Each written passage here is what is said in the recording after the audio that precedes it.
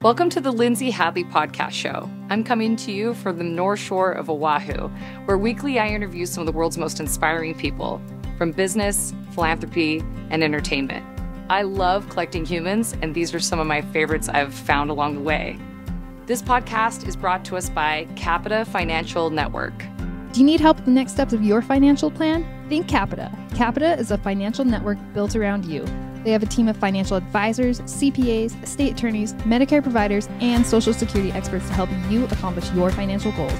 Call or schedule a complimentary consultation at 801 566 5058 or visit their website at capitafinancialnetwork.com. You can also check out their financial education podcast, The Financial Call, available on Apple, Google, Spotify, and YouTube. And I'm so thrilled to introduce my business partner and friend, Stephen Gyllenhaal. Stephen um, is an yeah, welcome, welcome to the show, Stephen. So glad to have you. Stephen is um, the director of many films in Hollywood, and he has helped me on the journey of my debut as a filmmaker, as executive producer of a film that he recently directed called Uncharitable, which we're going to talk a little about today.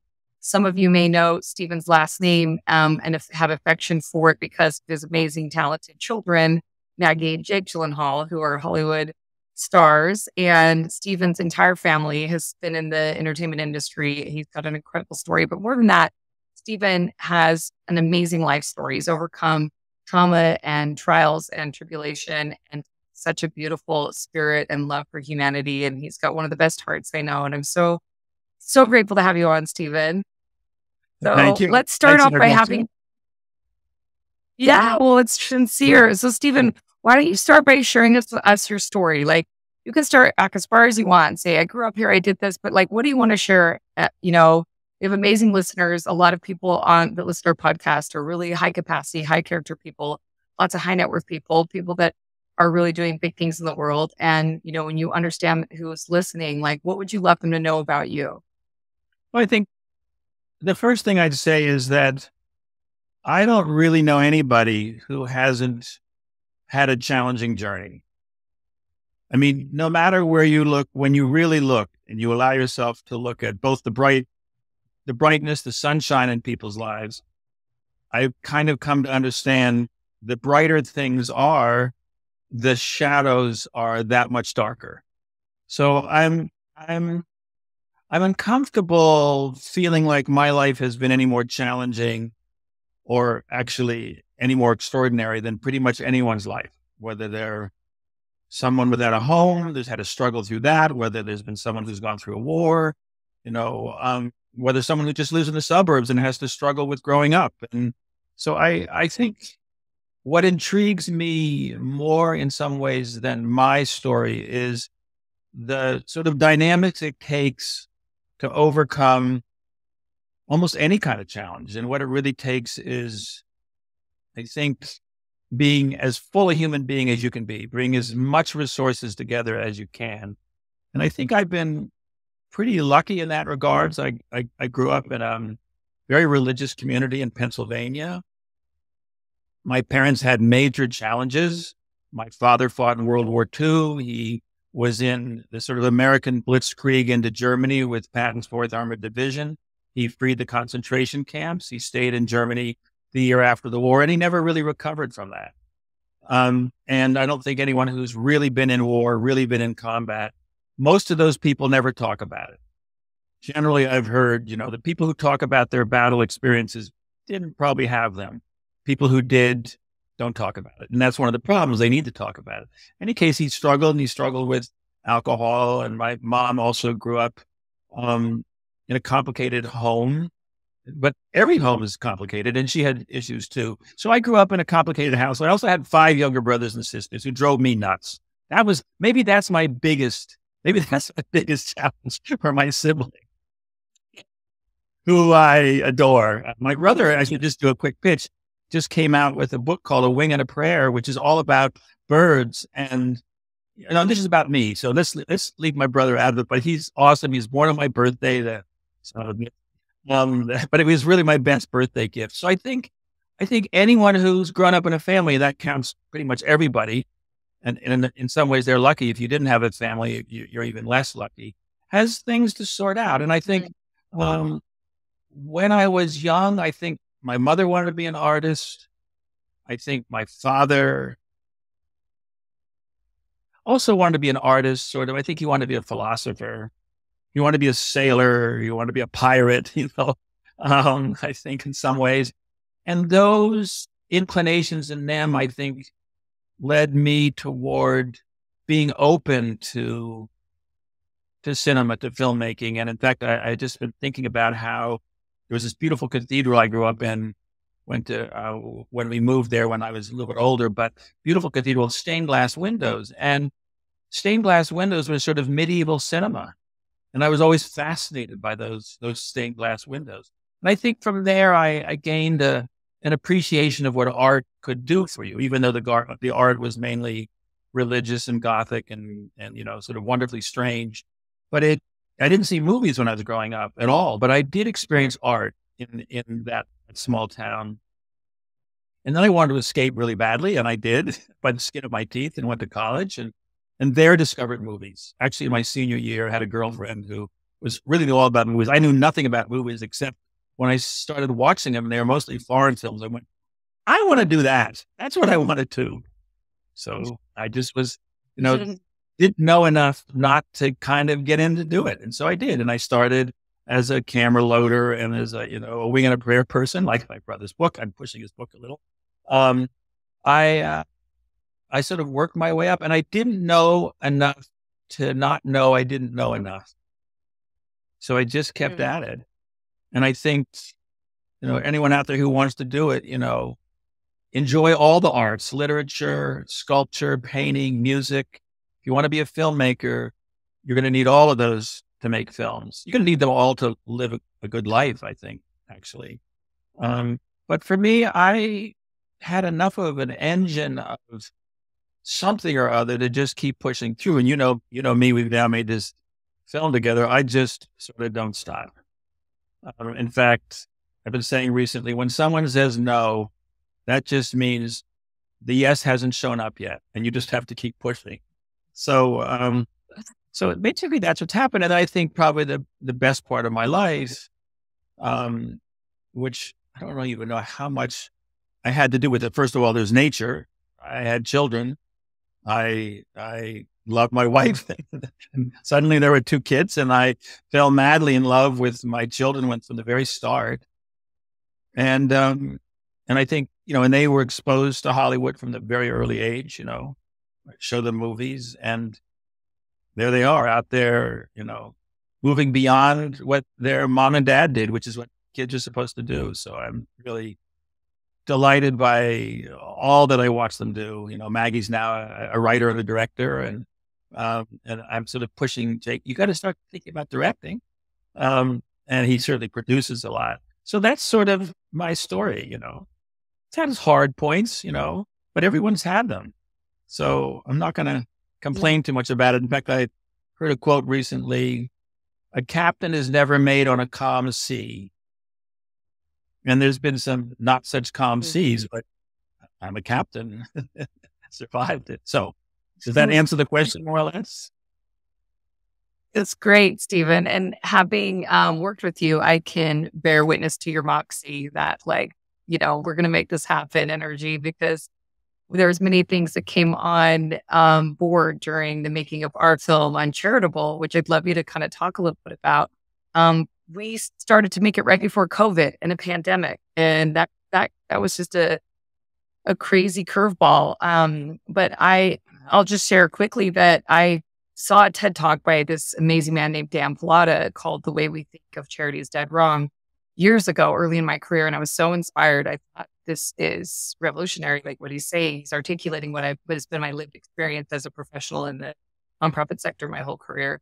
And um, I basically just cold called him and said, "Hey, I want to make a film of like a, an actual documentary of your ninety, of, you know, ninety minute exploration of your thirteen minute TED talk." And he goes, "Crazy enough, my buddy Stephen already is on it." Like, and so he introduced you and I, and I think we became dear friends quickly, and and the rest is history. But what tell us a little bit about the film? And I know you've shared with me in moments that it's one of the most important films you've ever made, and um, you feel very um, you feel very proud of the of, of the value that's film and what's going to be realized. Can you share with us this project? What got you into it? Any thoughts you want to share about Uncharitable? I'm very proud of the film. I'm proud of the filmmaking. Um, and I've been doing it a long time, so I, I bring to it a lot of experience. But it's that the film is connected to a mission. It's like it's it's connected to something so much bigger than itself. And I think for me personally, to be connected to something that's so much bigger than myself, um, is a is a blessing beyond words. Um, it is the most important film I've made by far. There was a point, and Lindsay, you were there, when um, some people who had, who had donated, and the film was completely made with donations, um, were a little concerned. It's taking you a long time to make this film. Do you really know what you're doing? Well, yeah, I know what I'm doing. So came and showed the film, and one of, one of the donors who had not a lot to do with it, his daughter had had a lot more to do with it, saw the film. There's an airplane out there. Usually we would say, hold it for a second, but we're going to keep going. Um, uh, it's a helicopter, actually. Yeah, it's helicopters. So that's my, that's my filmmaker side playing out. But anyway, he saw the film and then about two months later, we, we met again and we were sort of saying, well, how did the film affect you? And he said, well, you know, I'll tell you. He said, uh, two days after seeing the film, a woman from the Ukraine called me and said, would you, would you, um, maybe help us build some houses in Kiev? And he said, rather than what I had always done before seeing the movie, when I would have said, you know, what's your overhead? I want to go through all your books really carefully. I want to check out everything. I want to kind of spend some time really exploring. And so all I said was, how do you scale this? How do you scale it? And he said by hearing the way she described how she would scale it, I got involved. And he said, three days ago, that was two months after he'd first seen the movie, 130 homes went out around Kiev on trucks and were set up for families. And I there burst into tears. Mm-hmm. And this is even before the film has come out. And already there are 130 homes, families. He's now expanding it even bigger, which is really what the film is about, which is how do we scale 10 million people in a sector in the United States committed to doing good, who have lived by the skin of their teeth, many of them, never generally paid enough. A sector that isn't really allowed to market like the for profit sector, um, isn't really allowed to take risks like the for profit sector, has been told, keep your head down, be humble, you know, just do your job quietly. We're going to scale that. I mean, very simply, I'm passionate and a little angry and really looking forward to taking not just the charitable sector now, but everyone that surrounds it and say, let's now really talk about changing everything. Because if we can take those 10 million people and treat them the way they deserve to be treated, get enough money into the sector that it deserves to get into, solving pretty much every major problem, every almost every major problem sits under the umbrella of the charitable sector. And that's what this movie was designed to do. And we've now done enough screenings, and that one screening was an example to know after six years, Lindsay, you know, by by this, you know, by hanging on by our fingernails, you know, um, just barely barely surviving a lot of them, and the and the pandemic, and just the challenges of making a film. We've made a film that I'm very proud of because it's an emotional experience. And I shouldn't even say the word film. I've been saying use the film, use this use the word movie. This is a mainstream movie. This is designed for everybody who cares about anybody, and that's pretty much everybody, to get involved and change their mind about not just how they donate to the charitable sector, but get involved if you haven't gotten involved. You know, it's been a joy for me. It's been a challenge, but it's been much more filled with joy being involved with all of this. So that's the film, more or less. Oh, well, Stephen, thank you for that synopsis. You were, um, I was there when when when Deloy shared that, the donor shared that, and you teared up, and it was really a precious moment. I, I just feel like those, it's like the payoff from all of that, the, the sweat and tears, the hard work and the struggle. And you're so right; it's just the beginning. And Um, there's a scene in the film where you have the CEO of TED interviewed, and he says that Dan's talk is the most persuasive talk in the history of TED stages. And I really believe that this documentary is probably the most persuasive documentary in the history of documentaries um, for social impact. I really do because it's such a big idea. I, you know, and I'm biased. Okay, so I, you know, as the executive producer, I I'm so proud of what it can do, and um, because it's one of those special things where, you know, you hear the word awareness in charity and sometimes my skin crawls. What, what does that mean? Just, okay, yeah, there's a climate problem. Okay, yeah, there's kids being trafficked. All right, there's, you know, cancer. I don't need more awareness of the bad things in the world. I want solutions.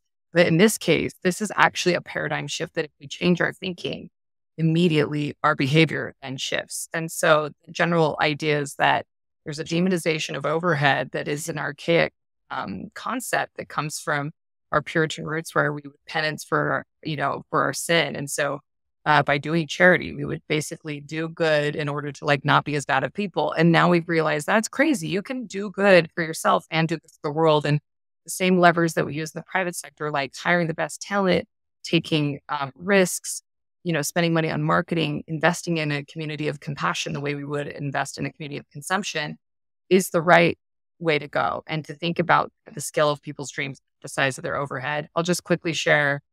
Um, there's a, an analogy I always give. I say, hey, if I did a fundraiser and I had lemonade stand and I had 100% um, of the money going to the cause or no overhead because I donated all the sugar and all the lemons and my kids did it and we had cardboard boxes. We raised $100 for the cause you care about versus if I put on a massive music festival like I have um, with Jess Larson you know, and we put on a big festival and it cost $5 million, but raised 10 million. Even though it's 50% overhead, which do you think you prefer for your costs? You know, the 50% overhead and $5 million of the $100. So it will utterly betray you if you look at overhead as a way to determine the utility of value. And so, Jess, I wanted to give you a chance to kind of, you know, segue in this. You have helped, you know, you've founded a nonprofit, you've been in this space for a long time. What questions does this bring up for you, for Stephen? Yeah. Well, you know, I remember when we met at Lindsay. You probably don't meet. You probably don't remember me because there was lots of people there. I remember meeting you at Lindsay's house a couple of years. No, ago. I, I, you were very familiar. I'm going, where did I know him from? I, just, I knew him from somewhere. Now I know. him. so you were perfect. Yeah, yeah. And you know, I thought it was an interesting idea, and you know, I can say that furniture, but really, Lindsay launched Child Rescue for us 14 years ago, and through the big con that got some to Redstone, to, made enough that and our charity for like several years off of that, right? And um, having been around the space um, and getting to see so many things that you guys address in the film, like, I mean, I'll just be honest, like before the film, like it sounded like a good idea. I saw the limitations, like conceptually it made. I just know that every time I talk about nonprofit stuff, people immediately start talking to me about bragging about how little somebody spends on overhead instead of talking about how much good somebody does or things like that. And so I, I was like, I'll just say I was, I was skeptical. I was like, Hey, this is this is a great film and it's what should happen and everybody's going to ignore it. Like just, you know, and then I watched it. Oh. And when I went to the screening, like you guys made a complete convert out of me. And I, it was a, it wasn't until maybe three quarters of the way through the film until I really had hope. Like, oh my gosh, the people who are doing the best things in the world might actually be able to start having the resources they need to do it. Because this, you know, Ed Norton, head of TED, I mean, you guys had so many high credibility folks in here and then such tangible stories that you can sink your teeth into that it just logically irrefutable, in my opinion. By like three quarters of the way through the film, I was like, this could work. This could like, this could literally change at least how our country works, if not how the whole world addresses this problem. And then the people who are doing a lot of the most important work in this world could actually have what it takes to get more. Done. And I just got so wildly optimistic. And so it's not a question. It's just like my congratulations. I can't believe no, you pulled it off. It it's amazing. I, no, I think it is a question because I think, I think, um, what I, there's a piece now going on, finish the film or almost finished. I drive Lindsay, everyone crazy because there's like last little, you know, there's technical things now, you know, there's a whole thing, Lindsay. I don't think you even know now with the end song now. There are people interested in doing a single, a record single and going for Grammys and Oscars and all these things we're sort of playing with. It's really getting concrete. so we'll talk about more of that later. But, um, but now we're at the point the film is done. It looks like we're going to be releasing in 50 to 100 theaters or cities. We're sort of playing with all of that. We have a premiere in New York at the DGA, which is the, one of the best theaters on 57th Street in Manhattan. Um, on September 21st. Then we open theatrically in New York the next day, the 22nd. Then we do a screening, we do a premiere down in, in Washington, D.C. to deal with sort of the VIPs there to begin to sort of stir things up there, start to raise some trouble there. Then we're in L.A. The, that that next Friday opening Laemmle Theater and and opening, and we're going wider and wider than Boston, Chicago. So that's and we still need money to do that. So anyone who wants to give us some money, I'm here, and so is Lindsay, um, because it's all sort of a wing and a prayer still at this point, but it's beginning to build into something bigger. Now, that's the second half. And I used to joke with Lindsay and say, when we're finished the film, we're on the 50 yard line. She's heard it a thousand times. We're now on the 30 yard line heading towards the touchdown.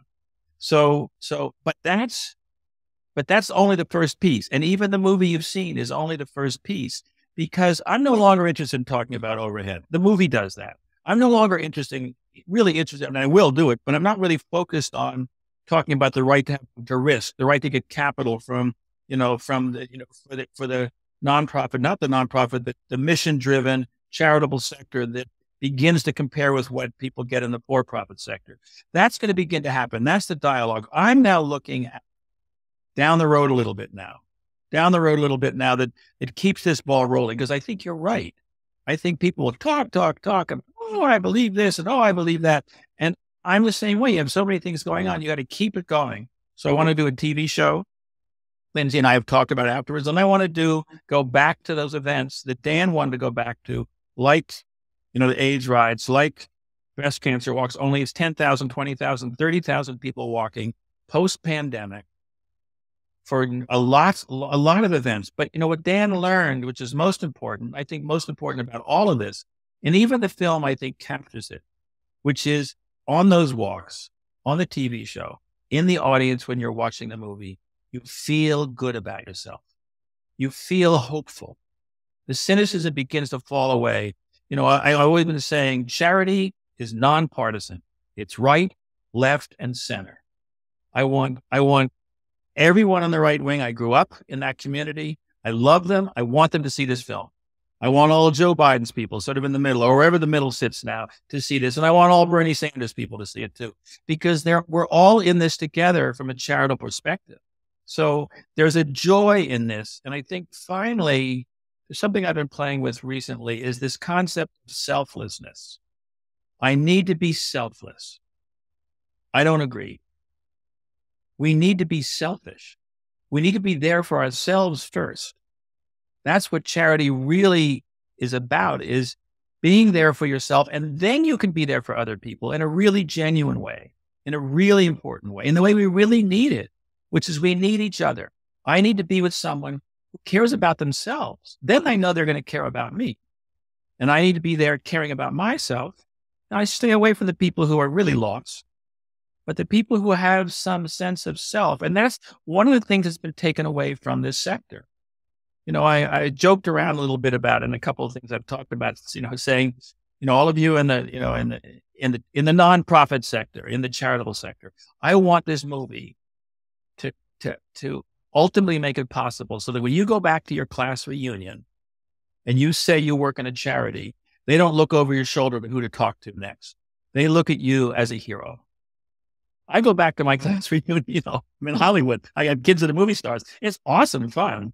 You know, but if I went back and said I've been working in charity, I want to someday be able to go back and say, and I have my own nonprofit as well, and have people go, wow, you and everyone else who works in this sector are the real heroes.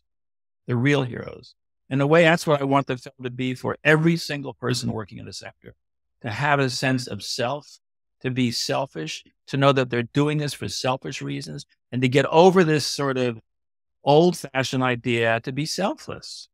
So anyway, so I'm all, I'm off my soapbox now, but that's that's what I've been sort of feeling.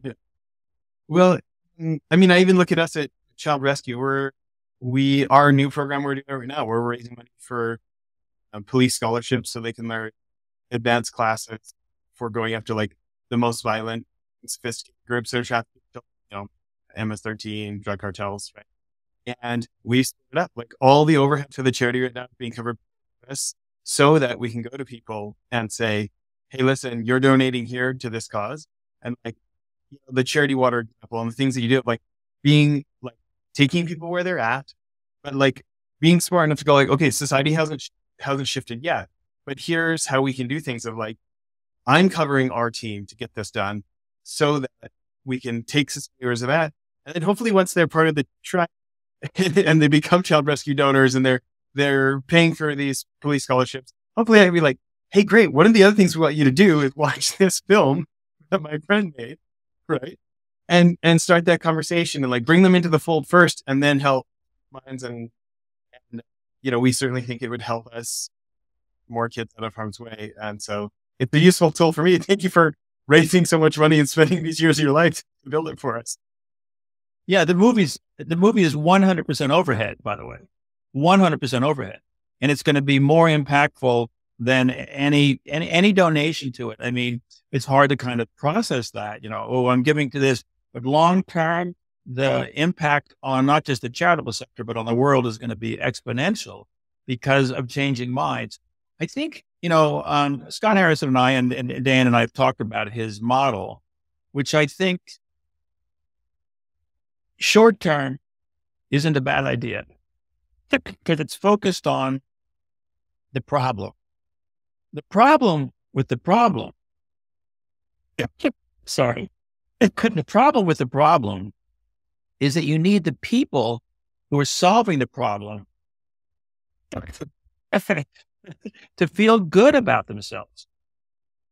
That it should be an easy thing. Ah, water. there you go.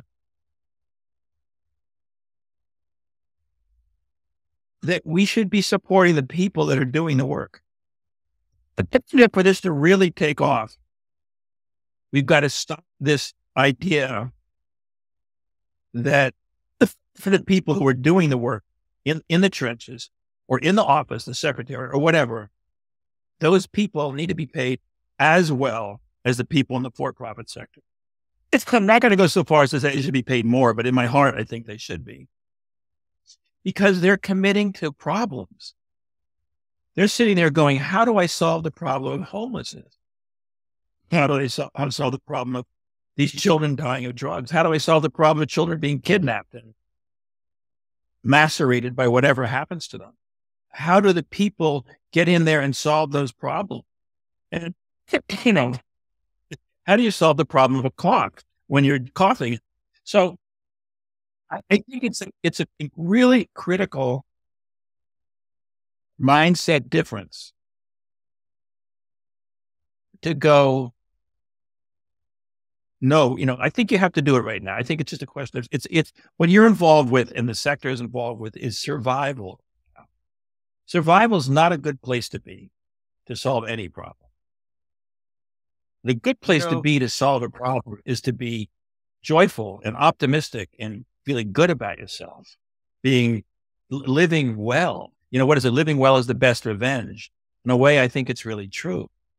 Um, we want a robust, ambitious, imaginative, outside the box, brilliant sector. And the film is really about getting to that place. That's awesome. You know, we've kind of been alluding to this.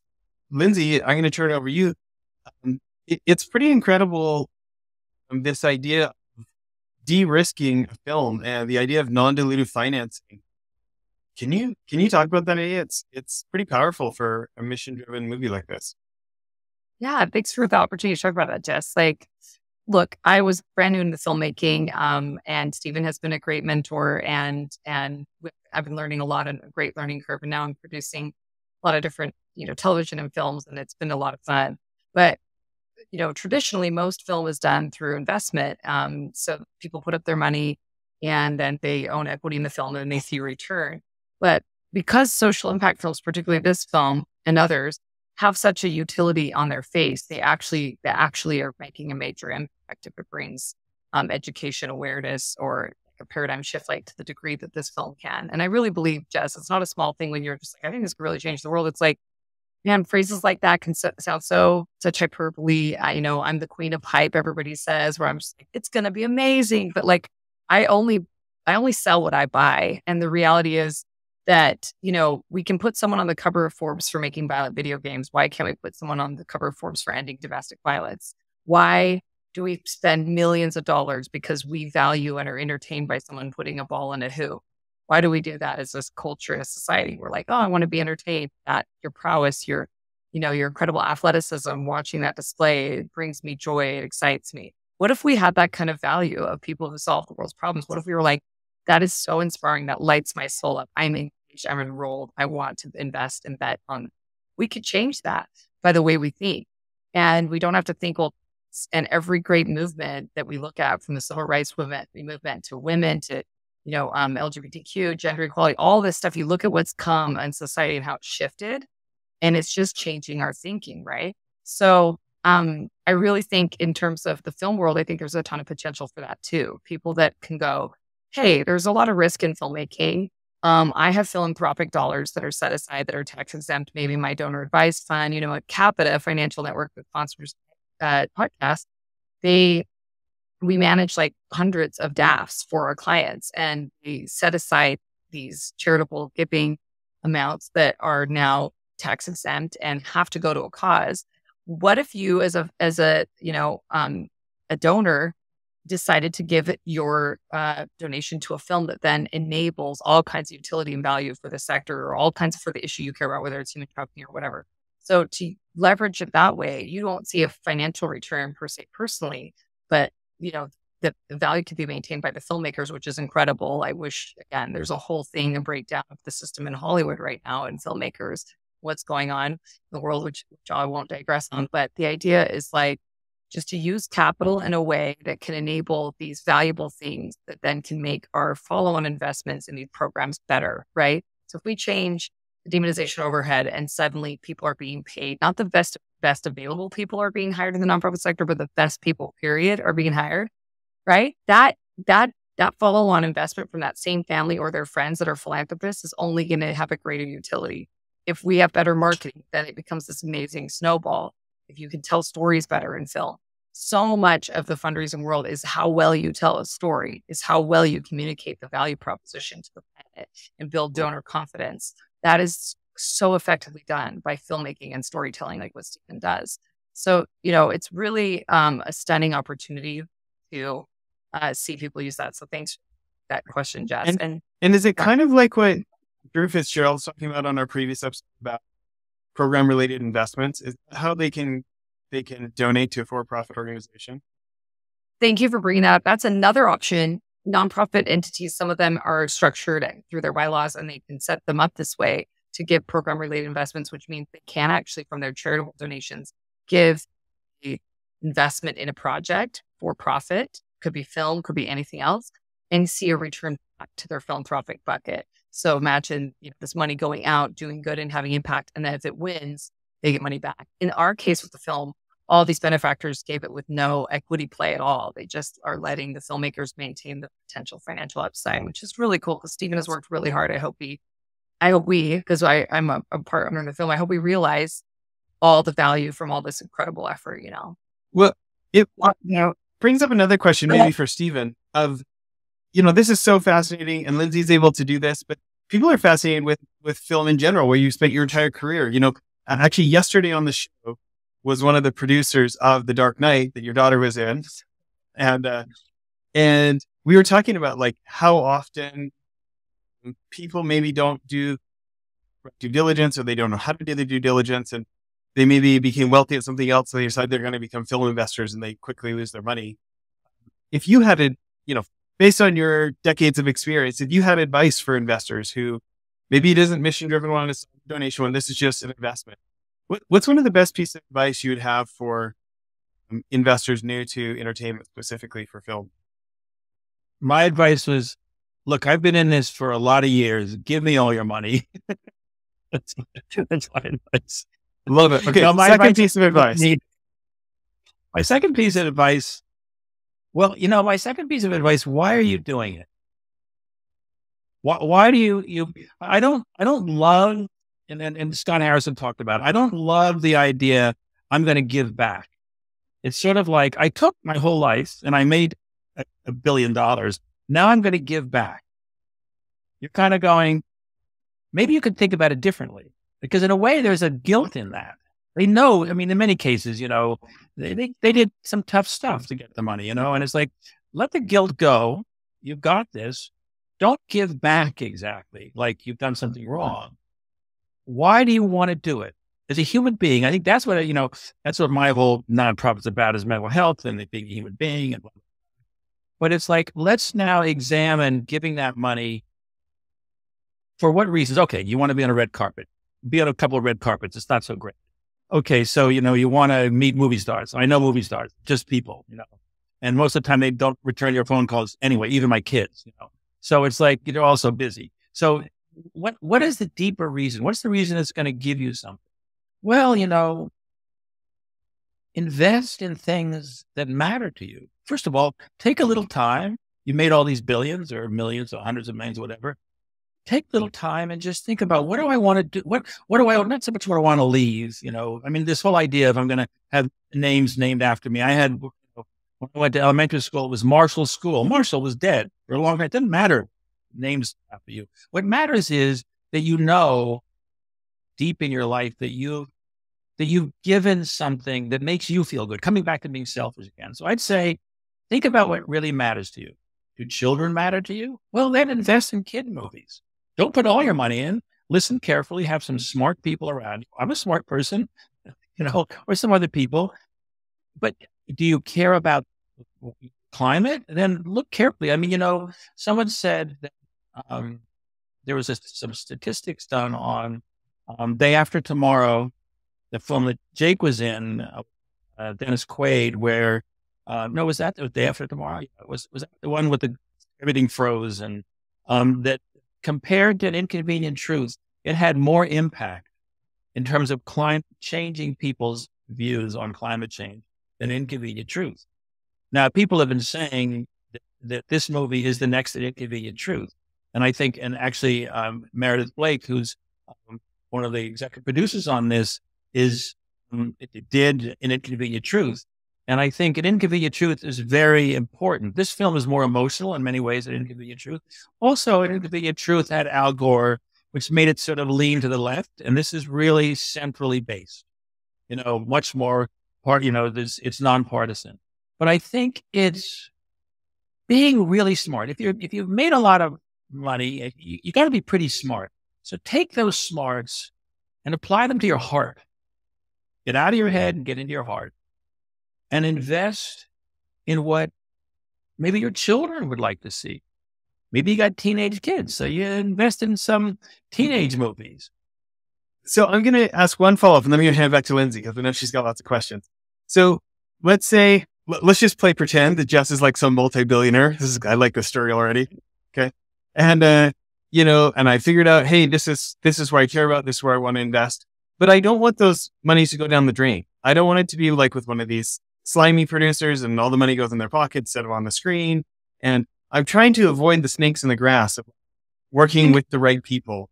So my last, I guess, kind of my follow up there before I hand it back to Lindsay is this idea of, okay, I've decided I'm going to put my for-profit investment where my heart is and, and also support art. But I also want to see that money back so we can do it over again. Um, you know, there's so many people that, that lose their money on independent film and, and TV and stuff. And if you had one piece of advice for those folks who are, they're trying to put their money where their heart is, but they're also trying to make sure they're working with the right people who can, what they say they're going to do. It sounds so basic, but yet so many people are unable to do it in Hollywood. What, what's one piece well, of you know advice what I'd say? My, my piece of advice there, I haven't really asked this to think it through, but what I would say is think of it as being going from elementary school to college. Okay. And Lindsay's, you know, has, has been, been going through that process as we've been working on all this. Don't invest a lot at first. So you can lose it and learn the lessons. You know, don't don't try and do it. It's it's there's no shortcut. There's no shortcut in any of it. As, as like you're going to build a building, you think you can just build a building without, you know, it's like it takes a long time. It takes a long time to do it well. You have to make a lot of mistakes. And, and with a movie, you make, you go down a lot of dead ends. You have to sometimes be in the editing room forever. One of the things that I think I've learned that a lot of executives haven't learned and a lot of people don't know is I have amazing ideas. I look at the film, I have amazing ideas. I think it was like a butterflies floating around me. Many people go, that matters. I've learned 80% of the butterflies, the genius ideas, the Galileos, the Michelangelo ideas I have are wrong. They don't work. You go back to the drawing board and you do it again and you listen to people and you do all that. So my, my advice is start medium, small, don't rush it. Imagine you're going to live for a while and don't invest a lot. Tell yourself you're in kindergarten and you may really get screwed by some snakes. You then know, don't go to that snake. But then you hear from other people or you meet someone. And again, use your heart. Sit down, talk with some people. Do I trust this person? Oh, he's really cool. He's really dressed really nicely. He came up in a, that may not be the best way of choosing. Feel it's all about heart finally. And it's, it is a wacky business. I've made movies that have been big hits, movies that have been failures, you know, really nasty, horrible people in the business. And they're delightful, wonderful people. Sometimes the nasty ones make great movies. Sometimes the really nice people make lousy movies. So it's like, it, but you learn, and I think you learn to be a human being in the process. And in the process, it teaches you. I mean, Hollywood has has taught me so much. You know, I love Hollywood. I love it. You know, I hate it and I love it. So I think start in kindergarten, mm-hmm. don't do much, then be third grade, then get a little more. Then you get into high school, you throw some more in. And in high school, the hormones kick in and you really screw up and you lose everything there. But you haven't spent everything and you don't you don't jump out of the business you kind of go back in again. Mm-hmm. you don't, you don't make, probably don't make a film with your nephew. That's not where you want to do it. You want to, it's, it's like, it is brain, it's brain. People used to say, oh, it's not brain surgery. It is brain surgery. We're working on the brain as much as a brain surgeon is. Work with professionals. and, you know, sometimes you pay them well, sometimes you give them back end, whatever you work out. You know, it's like, it's, um, so anyway, is that enough, enough of an answer? It's great. It's it's simple advice, but solid.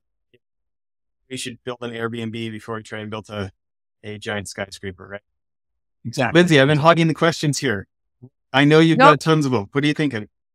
You're great, Jess. Um, yeah, Stephen, I was thinking about you. You sat with me and shared some really great advice as a parent. I mean, a lot of our listeners are parents, and you've had a really unique position to be parent to to radically successful and famous people that, you know, the world has wanted a piece of. And I've heard you say these little things that I've taken home and like stored in my heart as to be a better mom. You're just like, yeah, what it's, I think one of the, the Stevenisms I, I kept uh, for parenting was it's just not about you and you're the parent. Like, don't make it about you you know, like I find myself, I finally have like a teenage, have teenage sons, and I want to be like, dude, I'm doing this cool thing. Let me tell you about it. No, they want to tell me about the cool thing they're doing, right?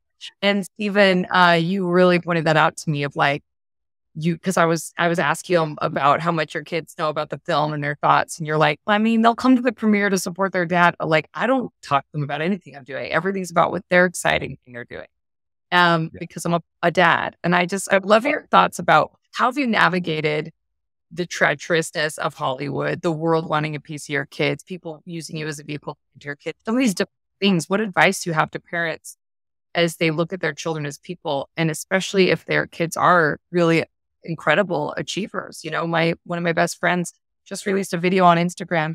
His son is a legitimate piano prodigy. He's been doing piano for two months. He's eight years old. They didn't know. This just came out of nowhere. And he's performing at concert level music and he's has it all memorized he can do like hours of the songs and it, the complication for what he's doing in two months is he's a prodigy and so they're now going we got to get a steinway we got to put music video that we got to put together we have to support this and i mean so there's a lot of different people while most of our listeners probably don't have a-list celebrities as kids they do have children that have a massive dream putting themselves out there. What would you what would advice would you give? Because I, I felt like i've got so many gold nuggets knowing you over the years. Well, I think, um, first of all, I think from a psychological perspective, and that's a lot of what I deal with with, with my institute, my, my um, charitable organization, nonprofit institute, is human development is miraculous from conception to death. It's a miraculous, miraculous thing. And the more one studies it, the more it's almost incomprehensibly miraculous. It's especially Mm. true, I think, until you're in your 20s. And I think there's a real risk in just having very gifted children, a great piano player, a great actor, or whatever, um, to put the focus on that talent. The more important thing is I can't say I did this perfectly at all as a parent, passively well, just their kids. They're just little Mm. kids. And maybe they have gifts. I mean, I have an eight year old now too. I have grandkids. I have grown kids and I have an eight year old and he's amazing. And I mean, as I said to someone, I make him smart and pretty. And, uh, and he's both. and, and he can do math way beyond me already at eight years old. He wants to do algebra this summer, but he's still a little kid. wow. And I think the most important thing is to be there for the little kid and to not get dazzled by what is special about them. Because sometimes what's special about them is also caused by trauma to some degree. It's complicated. It's very, mm-hmm. very complicated around where it is, where do these gifts come from? And what can they do to you? And you see many actors and many artists and many people who are gifted. You know, I'm a total fan of Elon Musk and Tesla. And I just don't know what's going on with him. And I'm sad for him. I just, it's like, you know, it's, but it's because his, of his gifts, I think. And, and they can get confused. And I hope he gets straightened out ultimately because we need people like that. But it's difficult. So I'd say the most important thing being a parent is to be there for the little kid. And in a way, that's true with adults too. I'm a little kid in many ways. And I've really honored that part of me more and more, curious. And, and I think one of the things about that, um, I've been working on a memoir because I am writing a memoir and sort of getting through it. Because some, someone said, You're a narcissist. I said, Yeah, I guess I sort of am, you know, but, but I, in the process of doing it, I really researched things. I had three really, really screwed up grandparents. I mean, really screwed up, really bad. And then I had one I didn't know anything about. And that one was the one who I now understand. And if you get into transgenerational trauma and all these things that are the psychological world, you know, all the things that went wrong in the past, there are also things that went right. And my grandmother, who I only knew as Seashore Granny, who went and picked little pebbles off the shore and made made um, hot cross buns, who I didn't really know very well, was the magic potion in my family.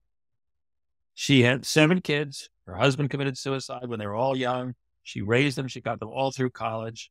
And she was a writer in a little town, very religious little town of Pennsylvania where no one did anything. She was a, a feminist and she wrote papers.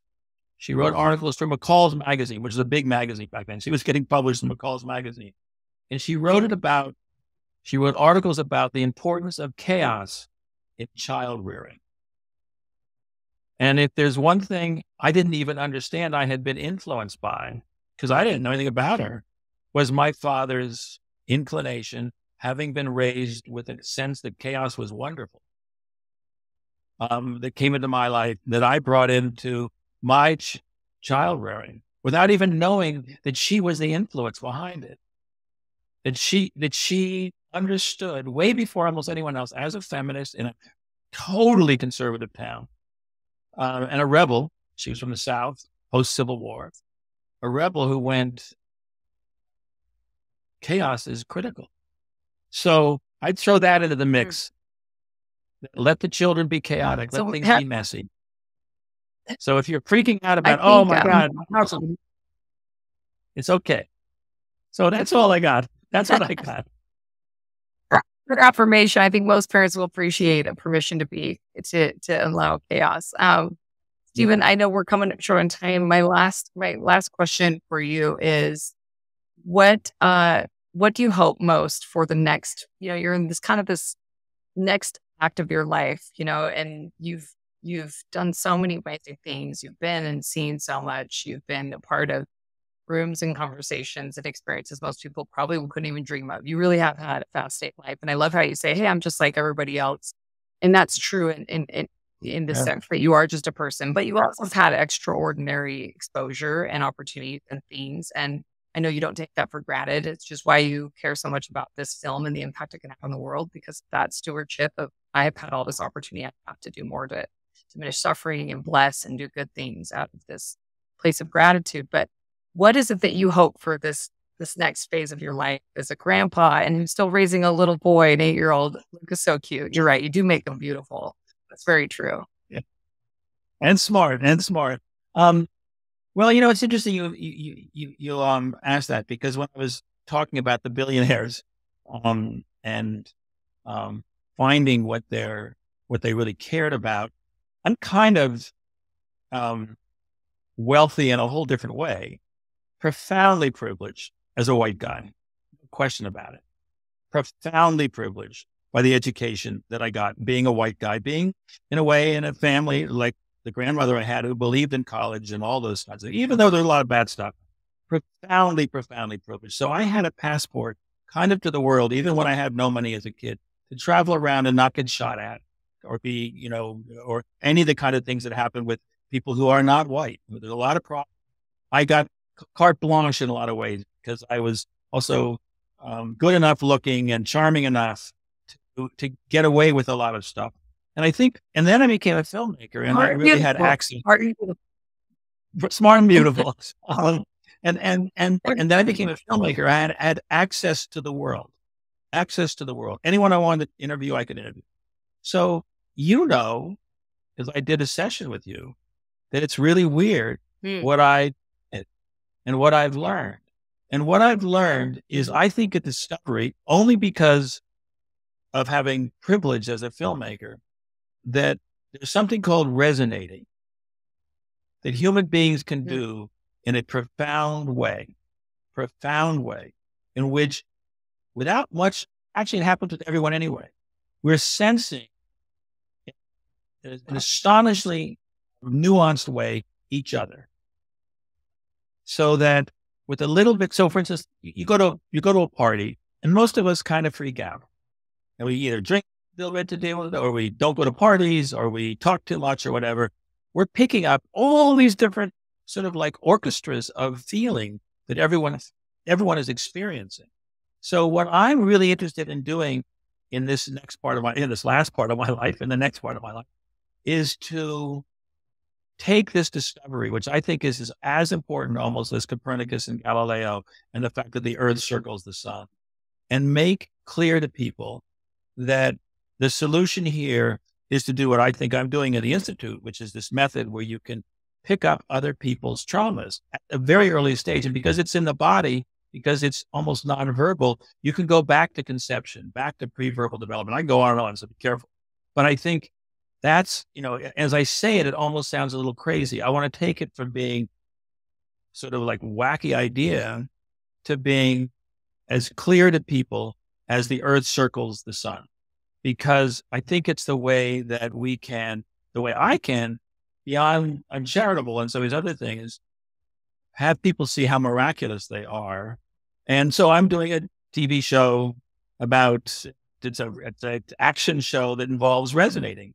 I'm doing a musical that's um that's a movie a movie musical that is also involving that with someone who goes back from the dying and all these things. And I'm doing a documentary called The Universe Sings because everything is vibrating, everything is quantum, everything has frequencies. So that to me is so I'm kind of off on whatever on a journey of, of sort of the universe sings on, on a journey of, into music and that we're all musical instruments. We can pick up each other. So in a nutshell, that's what I'm going to do with the with the next part, the last part of my journey, really. That's amazing.